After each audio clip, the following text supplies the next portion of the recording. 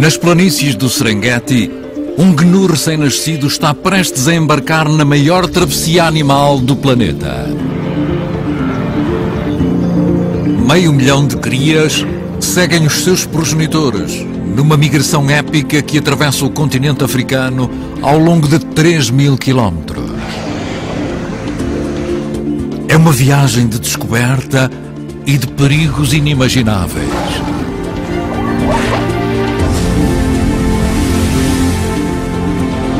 Um rito de passagem a que poucos irão sobreviver. Mas os que sobreviverem poderão regressar como adultos ao local onde tudo começou. O Grande Serengeti.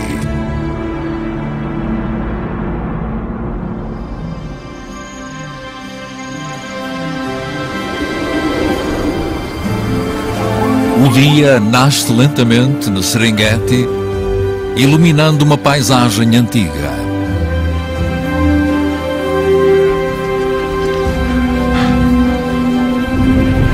Abrigadas entre montanhas vulcânicas, as planícies estendem-se para lá do horizonte.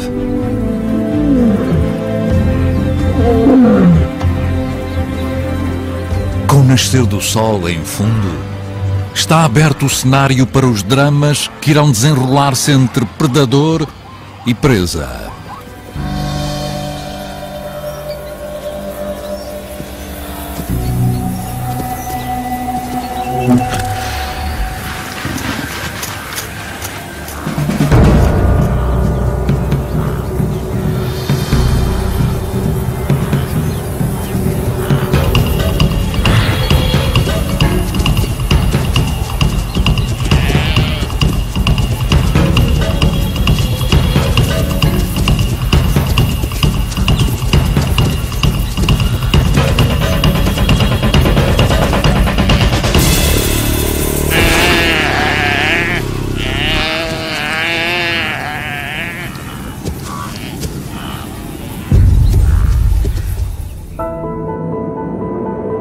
Serengeti fica no extremo oriental de África.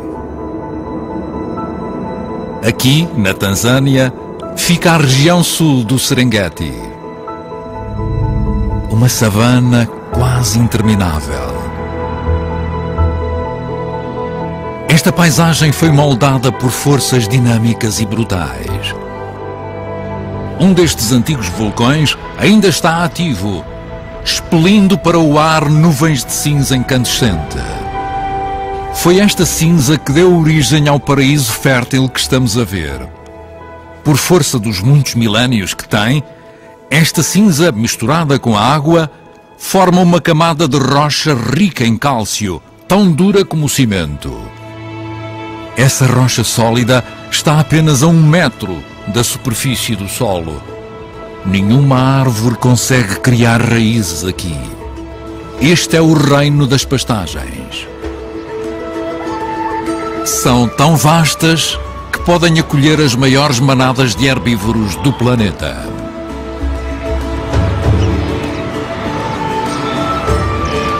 Estes são gnus.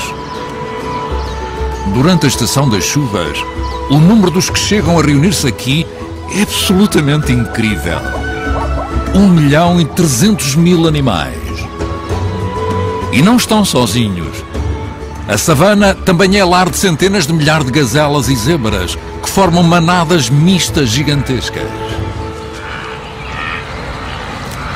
Segundo uma lenda africana, Deus fez o estranho gnu barbudo com partes que tirou de outros animais. Mas a sua concepção é perfeita. Não obstante pesarem 250 quilos, são corredores muito ágeis.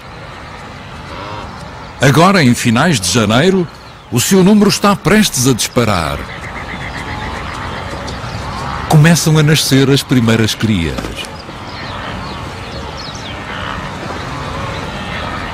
É um incentivo para o resto da manada. Em apenas duas ou três semanas, terão nascido 300 mil gnus. São 8 mil nascimentos por dia. 90% vão sobreviver ao seu primeiro mês de vida pelo simples facto de serem muitos. Aqui a quantidade é um fator de proteção. As hienas rondam a multidão em busca de uma brecha nas defesas da manada, mas sem sucesso. A cria põe-se de pé depois de alguns minutos. A progenitora encoraja-a a usar as patas bamboleantes. Dentro de 24 horas, vai ser capaz de correr tão depressa como os adultos. Perto das manadas de gnus, é a vez das mães zebras.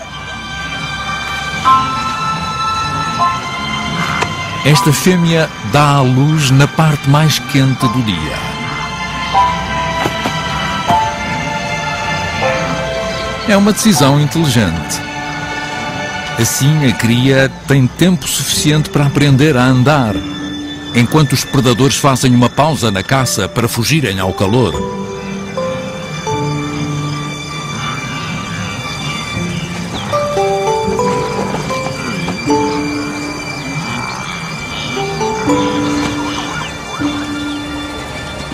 Mercúrio está bem acima dos 30 graus e este grupo de leões, dois machos, cinco fêmeas e as suas crias, espreguiçam-se em conjunto. Caçar agora pelo sol do meio-dia poderia deixá-los em risco de sobreaquecimento. Para os machos, com a sua juba enorme, isso poderia ser fatal. Além do mais, seria também um desperdício de energia. Sem árvores para se camuflarem, estes caçadores de emboscada têm poucas hipóteses de surpreender a presa. A época é da abundância. Não vale a pena ficarem exaustos. Mas estas três chitas não tencionam descansar. Este é o seu território. E qualquer presa que entre nele está a pedir para ser caçada.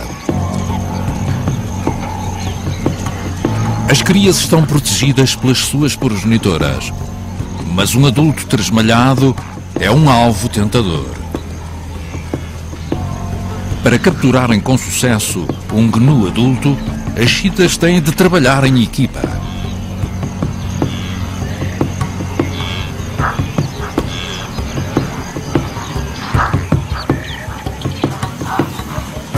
Tentar apanhar uma presa assim tão grande é uma estratégia perigosa.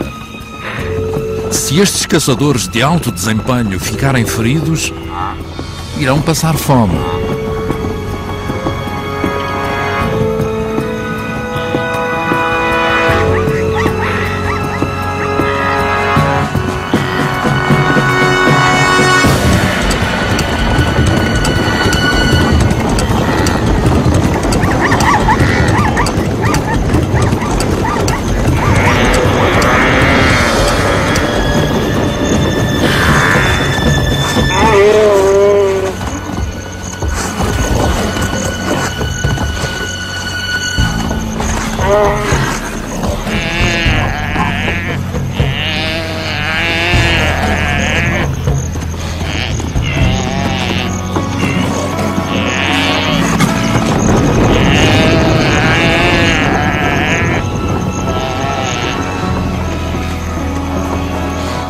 Adulto pesa mais que as três chitas juntas.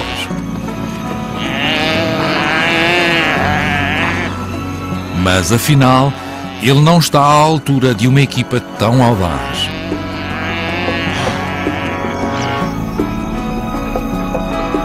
Uma das chitas acaba por sufocar o gnu com uma última dentada mortífera que lhe esmaga a traqueia.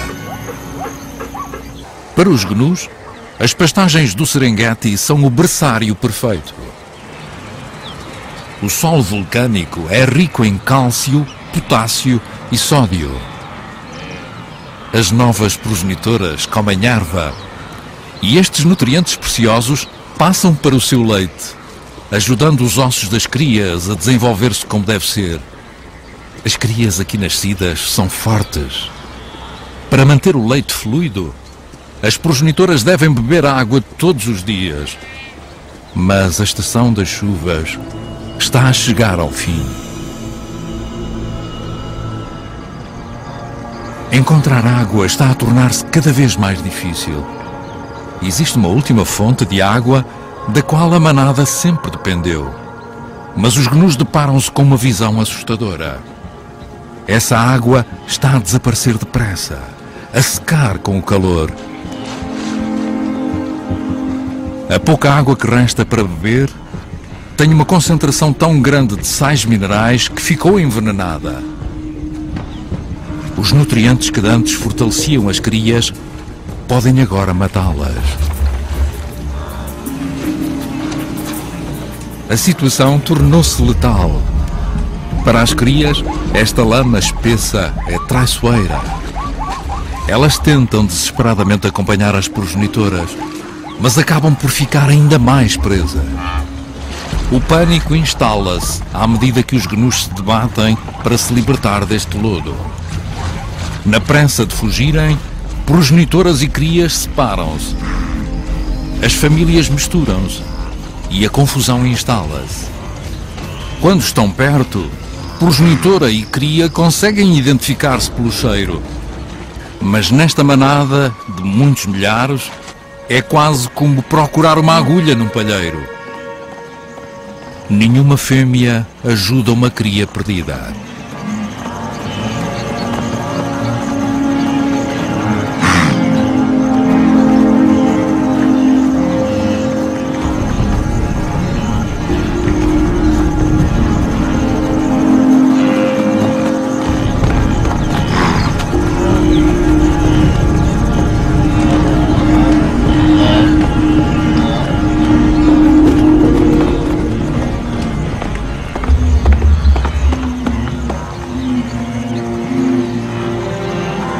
Uma a uma, as famílias reúnem-se.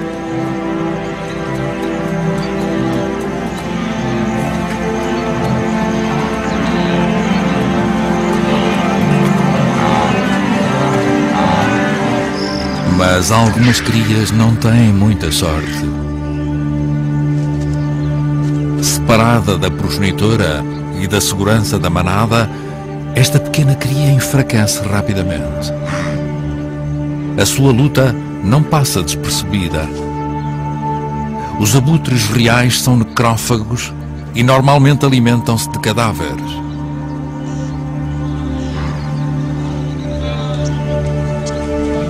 Embora esta cria ainda esteja viva, está a definhar a olhos vistos.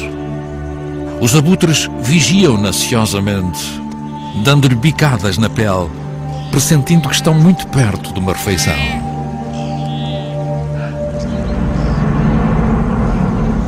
Encontrar água não é o único problema.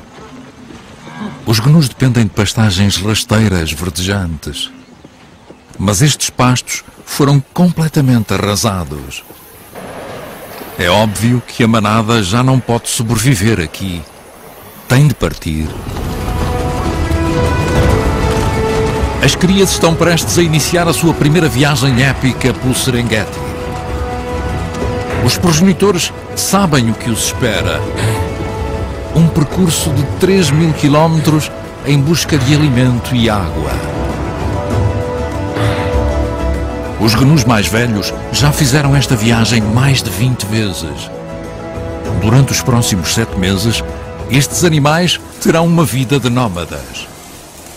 Presos ao seu território, os leões são obrigados a ver as suas presas partir. Aos milhares, gnus, zebras e gazelas de Thompson abandonam a savana. Estas crias têm pela frente tempos difíceis e meses de fome. O mesmo vale para as crias de gnu. Só uma em cada cinco regressará aqui com vida. Acredita-se que os gnus conseguem cheirar a chuva. O cheiro de uma tempestade que ocorre 50 km a norte atrai a manada com a promessa de pastagens frescas.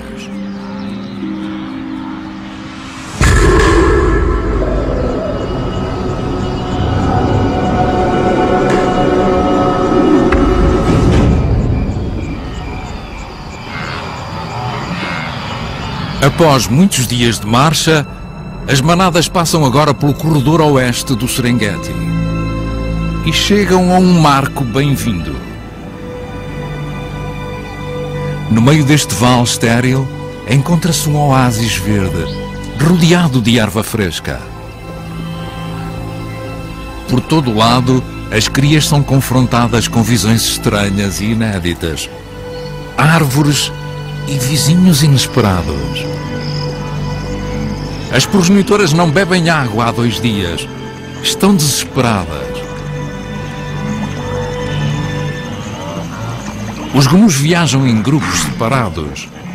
Mas agora, machos solteiros, fêmeas e crias convivem todos perto da água. Mas aqui também há perigo. O mato alto esconde um inimigo familiar. Três leoas dominam este território. À primeira vista parecem um bando desorganizado. A mais velha está cheia de cicatrizes e é meia cega, mas é uma caçadora muitíssimo experiente.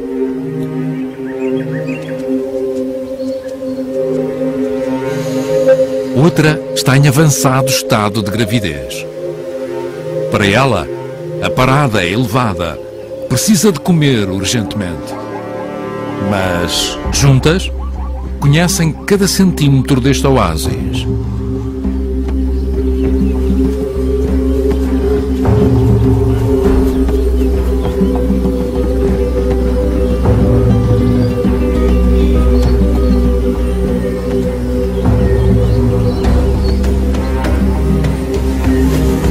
camufladas pela erva alta, o sucesso parece garantido.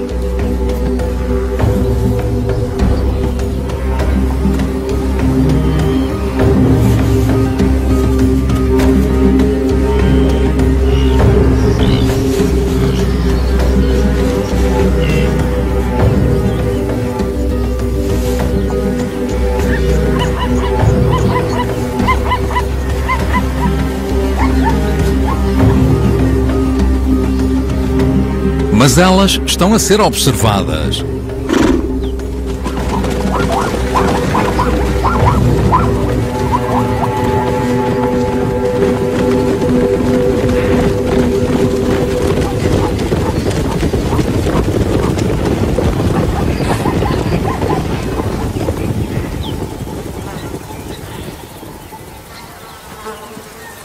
A leoa não consegue esconder a sua irritação.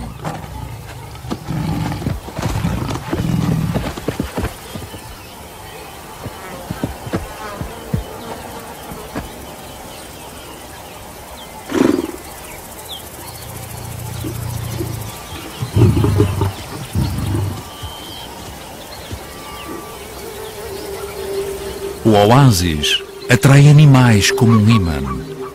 As leoas assumem as suas posições. Voltam à caça.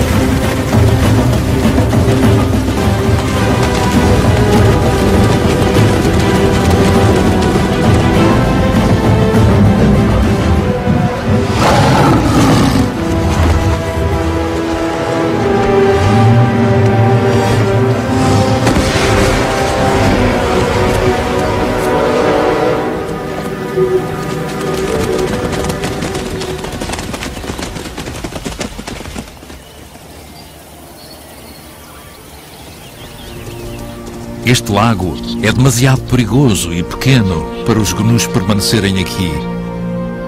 Eles têm de continuar a migração em busca da chuva. À medida que avançam para norte, a paisagem muda. Longe dos vulcões, não há rocha de cinza sob o solo. Nestas planícies, o solo é profundo e aqui as árvores podem criar raízes. Na sua migração incansável, os gnus atravessam territórios de muitos predadores. E alguns desses predadores não têm território fixo. Esta mãe chita e a sua jovem família conseguem seguir a migração das manadas ao longo de centenas de quilómetros.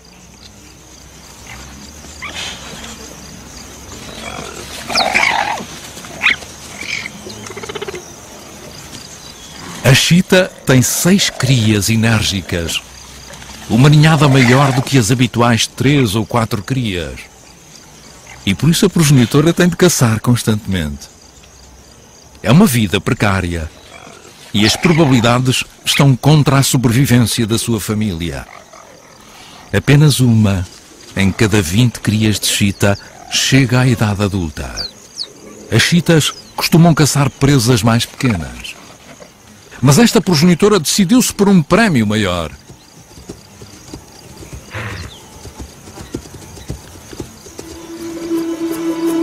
Uma cria de gnu está a ficar para trás em relação à sua manada.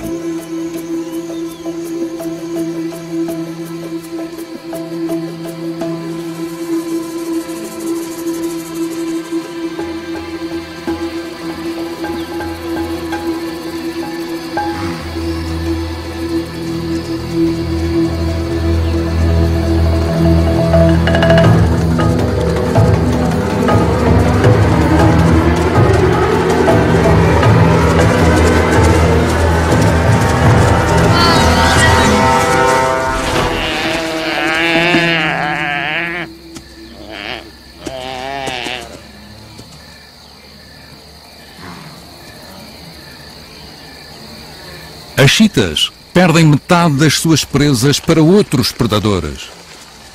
Por isso a progenitora arrasta o seu troféu para o esconder no capim. As manadas de gnus já estão bastante à frente. Estamos agora em finais de junho. Depois de avançarem para norte durante mais de um mês, os primeiros grupos chegaram às pastagens frescas. E, finalmente, água. O rio Grumeti. É um curso de água pouco profundo. E há locais que pouco mais são do que poças. Mas atrai vida em abundância. Os jovens gnus enfrentam um admirável mundo novo, bastante revelador. Para as mães gnus, exaustas, o rio Grumeti marca simplesmente a diferença entre a vida e a morte. A necessidade de beber água é avassaladora.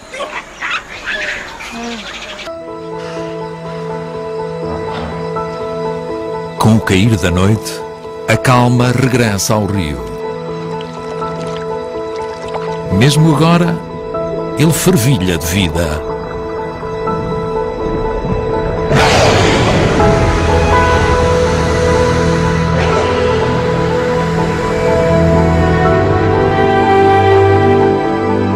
Esta noite há lua cheia. Amanhã será um dia importante para as manadas reunidas à beira do rio. Ao romper do dia, os machos estão a lutar. Começou o ritual.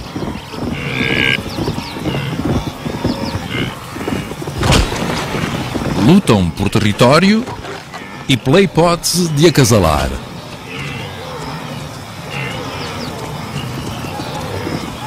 Agora, com cinco meses, as crias não se metem ao barulho. Só daqui a quatro ou cinco anos é que irão travar estas batalhas ruidosas. Nessa altura, os seus chifres, que agora são apenas uns cotos, já serão armas imponentes de um metro de comprimento. Estes combates duram três semanas. Por isso, daqui a oito meses e meio, De volta às planícies de pasto rasteiro do Serengeti, as crias nascerão todas ao mesmo tempo.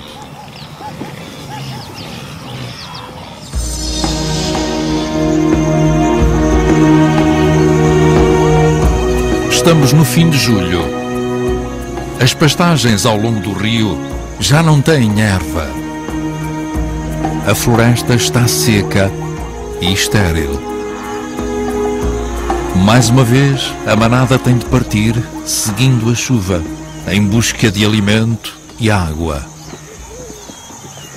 Mas agora muitas destas fêmeas levam consigo uma nova vida no ventre. Os gnus fazem uma última viagem para beber no charco raso. As crias têm agora seis meses. Embora ainda dependam do leite materno, são cada vez mais afoitas e confiantes. Uma delas adianta-se demasiado.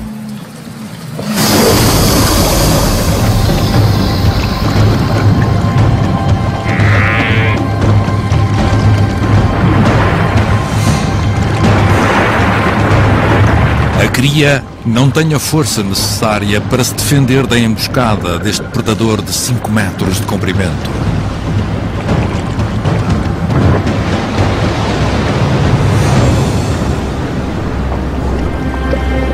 Progenitora observa ansiosa na margem. Mas desta vez não há escapatória possível.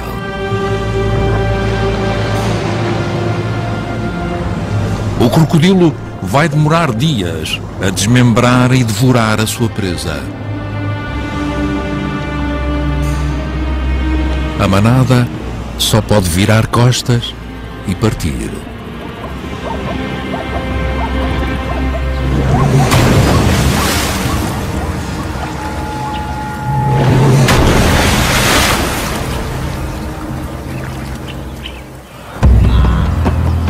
Estamos em agosto, no pico da estação seca. Para trás ficou o rio Grumeti, agora a mais de 100 quilómetros dos gnus. As temperaturas atingem 35 graus Celsius e os gnus percorrem 10 quilómetros todos os dias. Esta é a etapa mais dura da sua viagem. O único alimento que existe é erva seca e escassa é muito menos nutritiva que os rebentos verdejantes. Não chega para alimentar os gnus.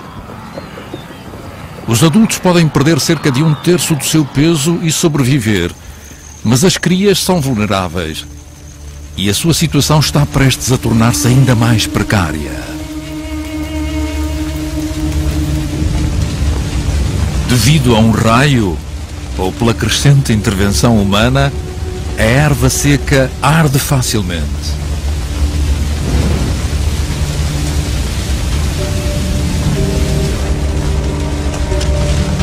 Para os animais pequenos, é um inferno.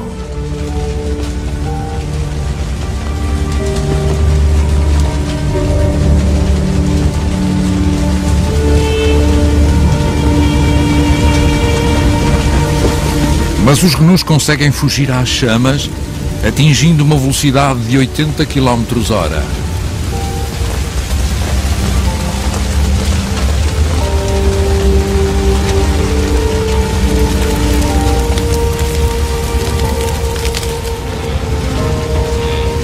O incêndio parece devastador, mas esta paisagem já viu muitos fogos.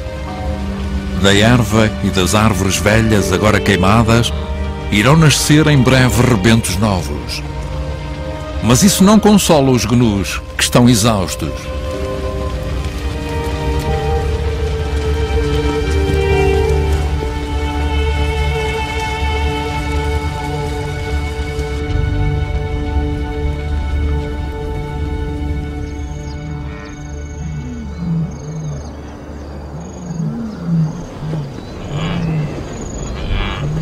A pouca erva que existia está agora feita em cinzas.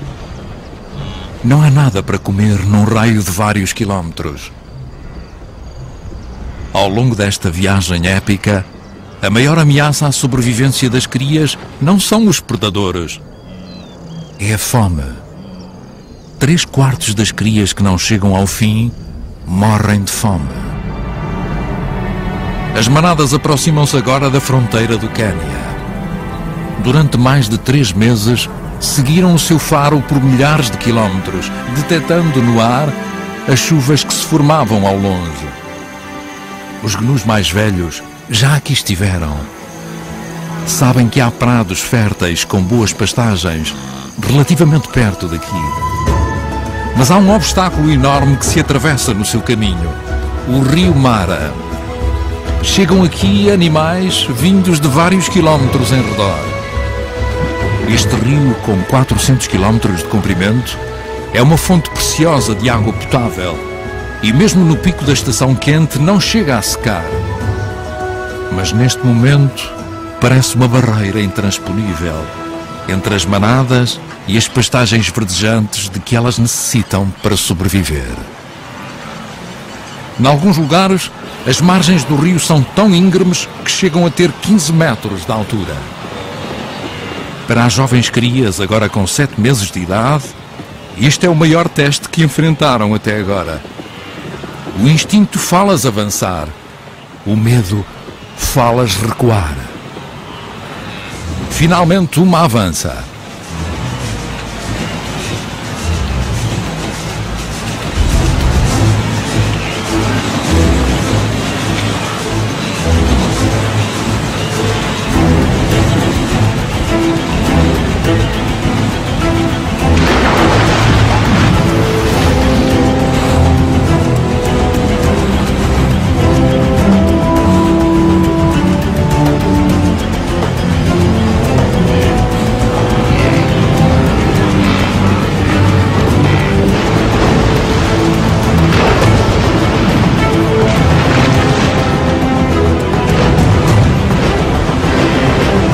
Repente, numa nuvem de pó, milhares de gnus seguem-na, mergulhando abruptamente nas águas.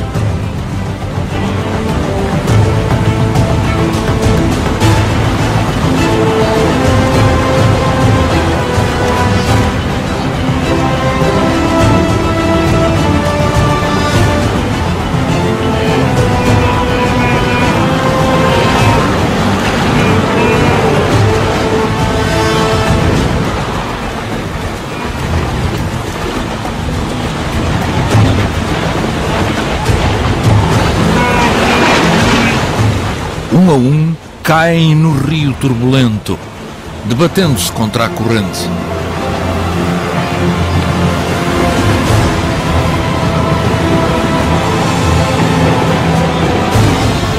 Nas suas curtas vidas, as crias nunca passaram por nada semelhante a este frenesim aquático.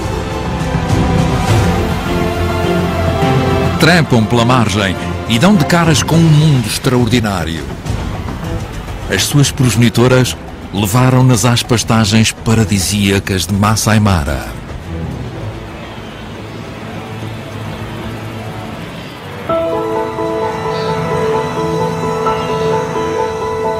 Aqui chove três vezes mais do que no Serengeti, onde as crias nasceram. Uma paisagem assim tão fértil pode sustentar uma das maiores regiões de biodiversidade do planeta. Estas supermanadas mistas conseguem viver juntas e em harmonia, pois alimentam-se de partes diferentes da vegetação luxuriante do Masai Mara. Os elefantes comem a casca das árvores e arbustos. As girafas comem acácias. As zebras preferem os arbustos secos.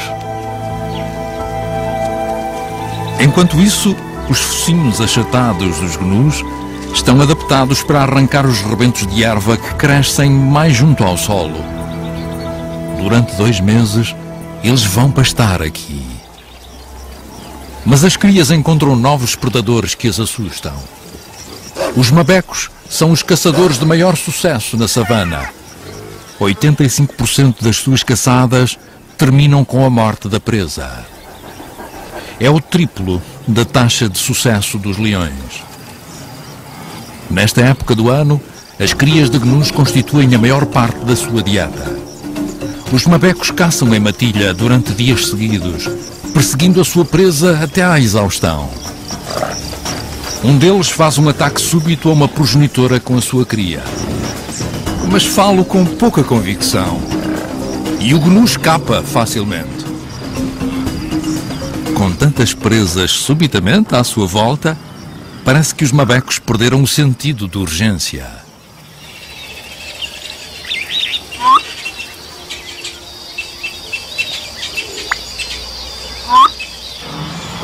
Durante dois meses, o Masai Mara albergou mais de 2 milhões e meio de animais que esgotaram a região. Em novembro, as outrora férteis savanas do Masai Mara já não têm erva verdejante. As manadas têm de partir novamente. Do alto de uma árvore, o machita observa com ansiedade a partida das manadas. Ela seguiu-as na sua viagem pelo Masai Mara mas este é o limite do seu lar gigantesco e a chita não passa daqui. Tem duas crias para alimentar que parecem não se dar conta de que o jantar se foi embora. Agora a chita tem de contar com presas mais pequenas. As manadas dirigem-se para sudeste, iniciando mais uma viagem épica que acabará por levá-las de volta ao seu local de nascimento a terra dos vulcões, milhares de quilómetros a sul daqui. Mas há um obstáculo no caminho. Têm de voltar a atravessar o rio Mara. Desta vez, as crias, agora com nove meses, já sabem o que as espera. Vão morrer à fome se ficarem aqui. Mas as manadas estão nervosas. Os gnus bebem pela última vez a preciosa água potável.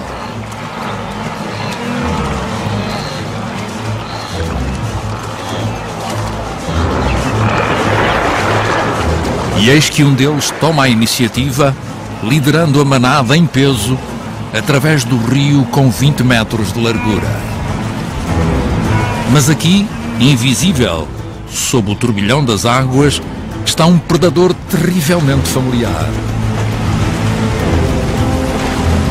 Os crocodilos ganham vida durante este súbito banquete de presas.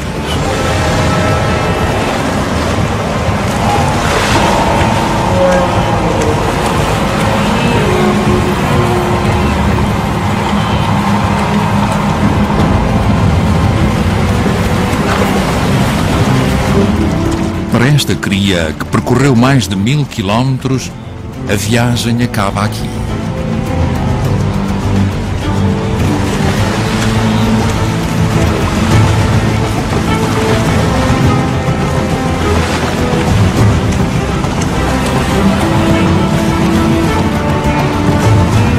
A margem íngreme provoca um engarrafamento.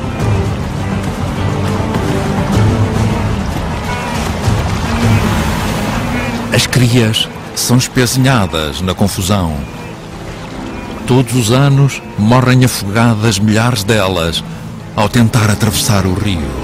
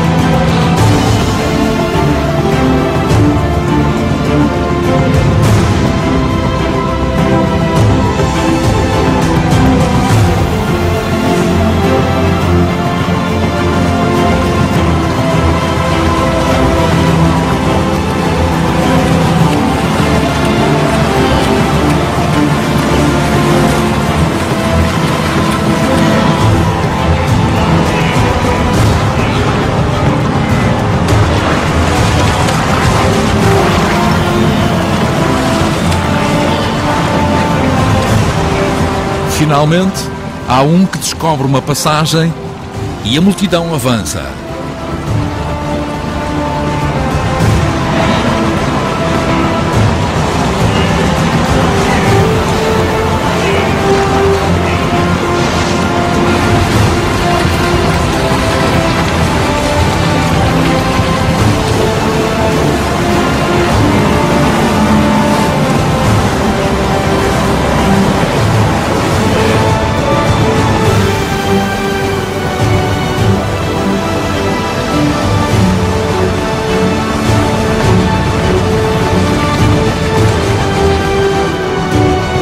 Agora, o aroma da chuva, da erva e a memória de um lugar seguro onde possam dar à luz incentiva-os a seguir em frente, de volta ao Serengeti. A sua procura incansável de alimento e água levou-os numa viagem que totalizou 3 mil quilómetros. Apenas uma, em cada cinco crias, regressa ao local onde nasceu. A vida para os predadores dos gnus também foi dura. Para os leões, o alimento escasseou e o grupo é agora visivelmente menor. Eles esperam ansiosamente pela chuva, que trará consigo os gnus.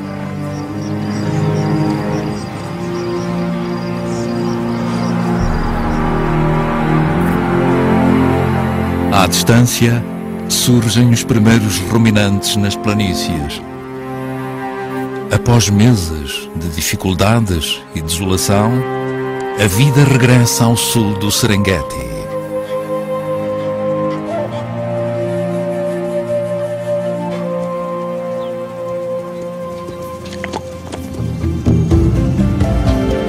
As crias que sobreviveram estão agora mais astutas sabem que as espera uma vida de movimento constante. É andar ou morrer. Em breve as suas progenitoras vão dar à luz e elas terão de se aventurar sozinhas. Mas durante uns meses preciosos vão descansar na base do vulcão, na terra onde nasceram, antes de iniciarem novamente, já como adultos, a sua perigosa viagem ao longo do Serengeti. Daqui a uma hora o Fama Show.